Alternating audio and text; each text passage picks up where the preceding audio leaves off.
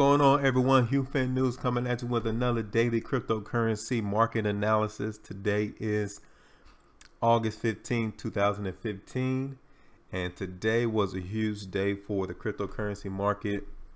It has shown us a change of character for a lot of the cryptocurrency that we have been analyzing the last couple of days. So we're going to go through that, and I want to show you guys if you guys are in the market currently with some of these cryptocurrency that we're about to review that you guys need to possibly need to try to really seriously think about an exit strategy because the market has seen its last updates for the next couple of traded days it seems like.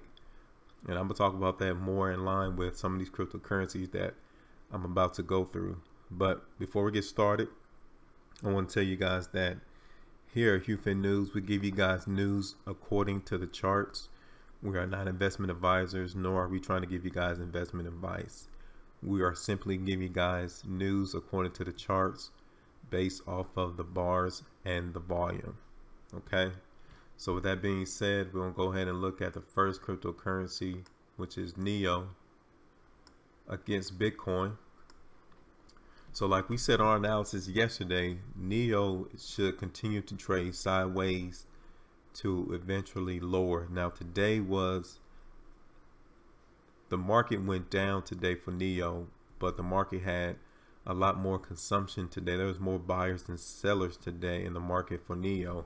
So the bar was able to close above the close of yesterday's bar. If you guys pay attention to that, you can see that consumption and the buyers within the market came in and absorbed all of that selling that came in, which is a precursor of strength but the spread of the bar is extremely wide. So that lets us know that the market tried real hard to push the price lower, but it just wasn't successful today. So we're going to continue with our analysis for NEO and say that it will continue to trade sideways to eventually lower. But if tomorrow's bar is extremely wide and higher as like a push to go up bar, then we'll change our analysis from trading sideways to moving higher. But until then, our analysis is to trade sideways and move lower. So next we're going to go ahead and look at this Bitfinex website starting with Bitcoin. On the daily chart, Bitcoin was down 3.34%. Last trade was at $4,187. Pay attention to today's bar. I told you guys yesterday by seeing how fast Bitcoin shot up in the last four trading days is unusual in any market. And to be ready to see a massive down move, and that exactly what occurred today. A massive down move occurred today in Bitcoin. This is truly a change of character that has occurred in this crypto. The volume is extremely high, is massive, even climactic. So we could possibly say that Bitcoin has finished seeing higher highs for the time being. The market is showing us, depending on what the market does tomorrow, will definitely give us confirmation on whether Bitcoin will see higher highs or it will not. But just by this bar being so wide, lets us know that the market is changing its sentiment on the direction on where it wants to go. So if any of you guys are in the market with Bitcoin, then you might want to think about your exit strategy and take your profit as we have been doing here at HueFin News. Because this is a a red herring. This is a glaring signal, a glaring sign to anyone who's in the market that something is changing. So I want you guys to pay attention to today's bar. So with that being said, our announcement for Bitcoin is for it to trade sideways. And if tomorrow's bar is lower than what it was today, then we're going to change it to Bitcoin to move lower. So we're going to wait until tomorrow for our confirmation on whether or not Bitcoin is going to move higher or lower. So today we're just going to say that Bitcoin is going to trade sideways. But it seems as if the market is going to move lower. Okay. So next we're going to go ahead and look at Ethereum.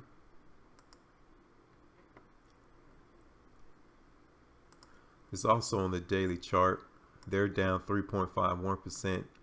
Last trade was at $288.03. So we said previously on our last videos that once you have so much stockpile coming in on these particular trading days that eventually the market will move down. And today that occurred. The market shot down even though there was some buyers in this particular bar.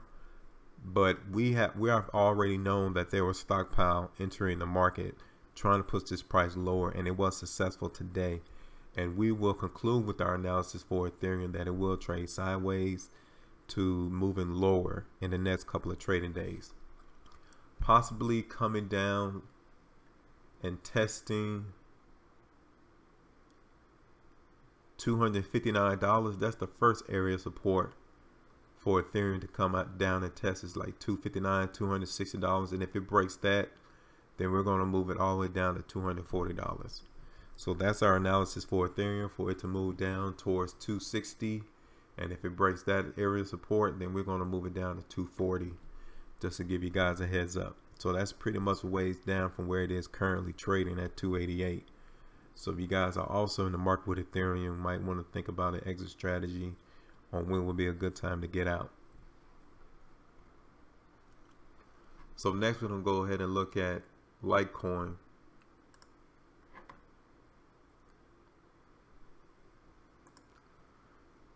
So even with Litecoin, Litecoin was down 5.32%. Last trade was at $43.14. And we said on our video yesterday, so you guys need to go back and check our video and see how accurate we are in our prediction. We said that today, if Litecoin breaks through this area of support, then we will change our analysis. And we changed it from trading to lower, especially on today's bar. It is a widespread bar on high volume. And it's and the sellers in this particular market was successful in keeping the price lower and under the area of support that it was was trading at yesterday. So Litecoin is going to be moving lower, possibly coming back down and testing $40. And if it breaks that area of support, then we're going to look towards $38 as the next area of support for Litecoin. But the market for Litecoin is weak. We have already acknowledged that in the last in our previous videos because we've seen precursors of weakness in Litecoins in the last couple of trading days. So that is our analysis for Litecoin is for it to move lower.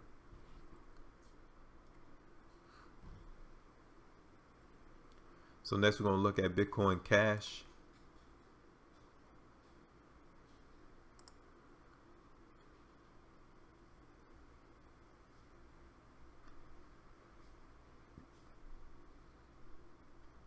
So looking at Bitcoin Cash, it looked like they were up 1.11%.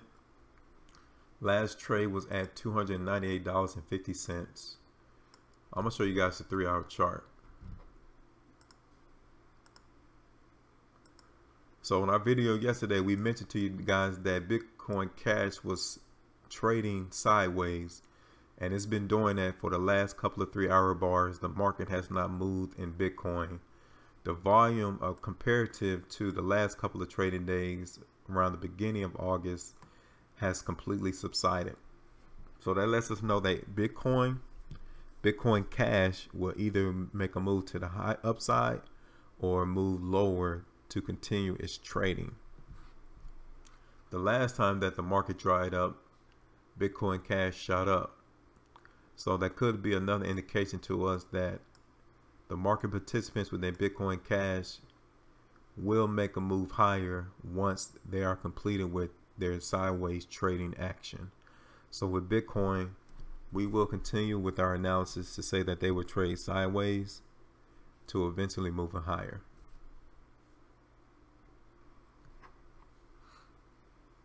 So the next one we're going to look at is Ethereum Classic.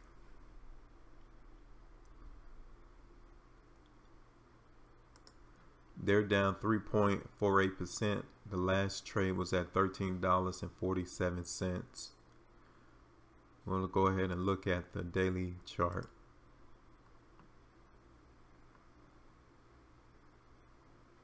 So we have already told you guys that Classic was going to come and test this area support. And what did it do today? Man, when you guys understand the language of the market, you guys will be more confident and you will be making more money in the market once you understand what's going on with these bars and the volume. We call this the last couple of trading days, the market has been trending lower. And we have told you guys that it will come and test this area support. And it did that, and the market came back into the area support. So, what we're expecting to see for Classic is for it to continue to trade sideways or to eventually come and back up here to this area of resistance. But definitely, Classic is the weakest cryptocurrency in the market right now. And you guys can definitely see that over the last couple of trading days that it has not had not one update.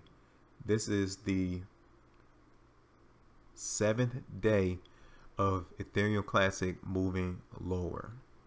But I want you guys to be prepared because once you have so many days of the market moving lower, then that's going to be the opportunity for those who see this as an opportunity to come in and start buying.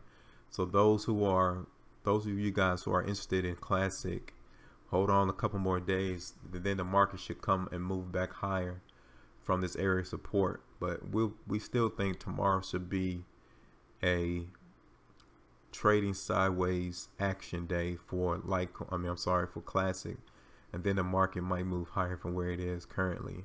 So our analysis for Litecoin, I mean, I'm sorry, for Ethereum Classic is for it to trade sideways to eventually moving higher to touch its area resistance. And if it breaks this area support by a push to go down, then the market is is a free fall for classic. So that's one of the things if you guys are in the market for classic is that if it breaks this area support, then you definitely want to possibly take your exit strategy out of Classic because there is no area support that we can see unless it's down here at $7 for Classic to stop.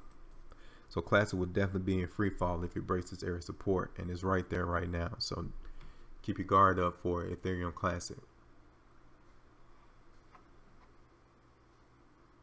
So next we're going to look at Dash. So pay attention to Dash because one of the things that I noticed with Dash compared to all the other cryptocurrency is that it closed higher than the majority of the other cryptocurrencies, which is an indication of precursor strength. So Dash is not finished with its higher prices currently. A lot of the other cryptocurrency moved lower, but Dash showed us that the buyers overwhelmed the sellers today. They're up 2.60% Last trade was at $204.24. So Dash might try its way back up here to this area of resistance, but they'll have to take a lot more buyers in order to push it higher. So the market still may close lower tomorrow. So for Dash, we'll just say that they should move, continue to trade sideways. But the overall feel for Dash is that it should move eventually lower because we're not seeing a lot of precursors of strength in the background to say that it's going to break and at least move up there to the area of resistance.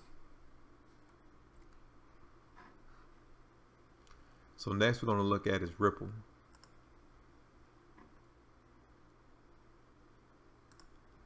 So Ripple is down 5.85%. Last trade was around 15%. But I want you guys to pay attention to today's bar. See how excessive that volume is? About 11 million cryptocurrencies was traded on today. And the market tried to push the close towards the middle of this particular bar, which could be an indication of consumption coming to the market because the area is trading right here around the area support. In the last couple of days, or whenever the market came and tested around this area support, the next day it shot up. So it might not be that same case for Ripple on tomorrow, but I just want you guys to be aware that Ripple might come back up higher from where it currently is trading because obviously the market participants wanted to keep the prices from moving lower. So they came in and tried to consume as many of these cryptocurrencies trade at this price as possible. So the next couple of trading days, Ripple should be moving sideways to eventually higher to get away from this area of support. Okay. But like like I said with the other cryptocurrency, uh, Classic, if it breaks this area of support, I have no other way on this particular chart to show you or tell you guys where will it stop. So if it breaks this area support, then you will definitely want to go ahead and get out the market as soon as possible because we have no other indications as to where it will stop. Okay. So the last one we're going to look at is Monero.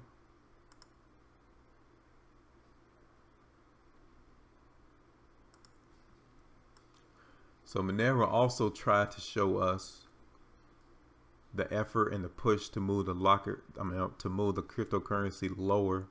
It was successful because yesterday was a definite precursor of strength. But given what happened today in the market, Monero is definitely giving us more precursors of weakness than it is precursors of strength.